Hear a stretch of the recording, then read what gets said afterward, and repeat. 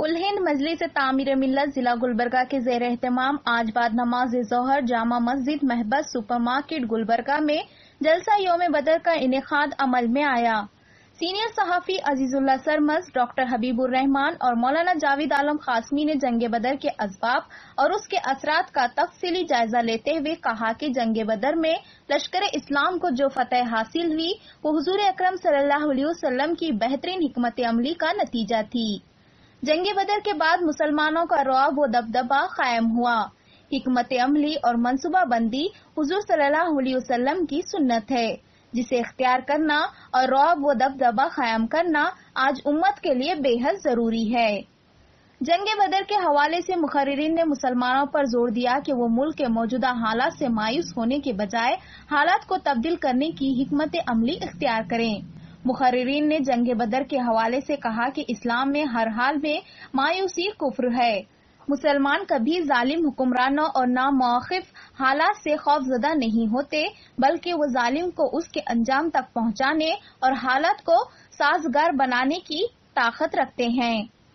مقررین کا کہنا تھا کہ اگر آج بھی مسلمان چاہیں تو فضائے بدر پیدا ہو سکتی ہے اور اللہ کی مدد آ سکتی ہے۔ مسلمانوں کو اپنی سب سے بڑی کمزوری، انتشار پر قابو پانا اور اتحاد کی طاقت حاصل کرنے پر توجہ دینے کی ضرورت ہے۔ سید نثار احمد وزیر اعزازی صدر تعمیر ملت گلبرگہ نے صدارت کی۔ کاروائی کا آغاز خاری احمد اللہ حیدرآباد کی خرط کلام پاک اور مولانا صادق نشبندی، الیاس صابری، امجد سرمز کی نعت خانی سے ہوا۔ عبد الجبار گولا ایڈوکیٹ صدر تعمیر ملت گلبرگہ حیدر علی باغبان کنوینئر جلسہ، ظہیر شیخ general secretary Tameer Millat Abdul Mannan advocate Manzoor وخار Muneeb Ahmed کے علاوہ تعمیر ملت کے کارکنان، نوجوانان اور آمد مسلمین کی کثیر تعداد جلسے میں شریک رہی۔ گلبرگہ سے ٹی وی نیوز کے لیے آیت اللہ سرمز کی رپورٹ۔ مجھے بھی شاہد اسرا بنا دیا ہوتا۔ نبی کے گرد کا بے پار بنا دیا ہوتا۔ صحابہ گرن نہ دیتے زمین پر مجھ کو۔ صحابہ گرن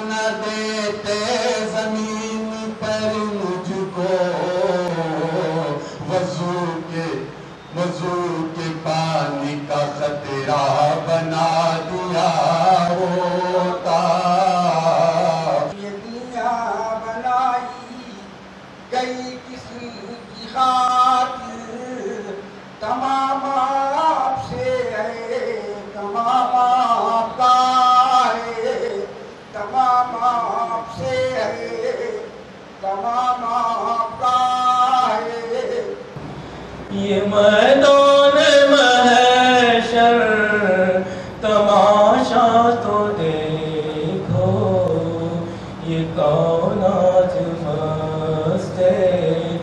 خرام آ رہا ہے۔ فرشتے نگاہ بچھانے لگے ہیں۔ تمام انبیاء کا امام جلسہ یوم بدر کے عنوان پر میں مبارکباد پیش کرتا ہوں تعمیر ملت کے تمام ذمہ داران کو اور ان تعمیر ملت کے ذمہ داران سے میں درخواست بھی کرتا ہوں کہ آپ کی یہ کوشش اس وقت ملت کے لیے بھی اور ملک کے لیے بھی بڑی ضروری ہے۔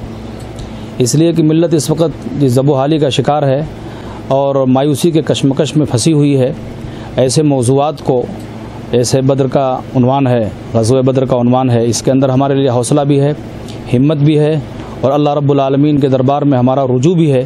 اس لیے کہ جب تک ساری چیزیں ہمارے ساتھ نہیں ہوں گی، ہمیں کامیابی نہیں مل سکتی۔ آج باطل طاقتیں ہر چیز کو سمیٹ کر کے دنیا کو لے کر چل رہی ہیں اور ہم اس چیز کو بکھیر کر کے دنیا سے الگ ہو کر کے راستہ بنانا چاہتے ہیں۔ ظاہر سی بات ہے کہ ہمارے لیے اس میں رکاوٹ پیدا ہوگی۔ تو بہت ہی اہم یہ آج کا عنوان تھا اور میں سمجھتا ہوں کہ اس کے ذریعے سے ہم اپنے شہر گلبرگہ کو بھی اور پورے ملک کے ملت کے تمام لوگوں کو بھی ہم بیدار کر سکتے ہیں۔ اسلام کا، اسلام میں جو ہے نا قرآن کو آئین دیا گیا۔ تمام انسانیت کے لیے، خاص کر مسلمانوں کو قرآن دی گئی ہے اس پہ عمل کرتے ہوئے ہم ڈٹ کر مقابلہ کر سکتے ہیں۔ کیسے بھی حالات آنے آنے والے دونوں۔ میں چاہتا ہوں تعمیر ملت کے تحت آئے دن جیسے جیسے مہینوں میں جس قسم کے پروگرام رکھنا ہے ہم کو انشاءاللہ ہم نے کوشش کر رہے ہیں۔ انشاءاللہ آپ تمام کا تعاون رہنے دو۔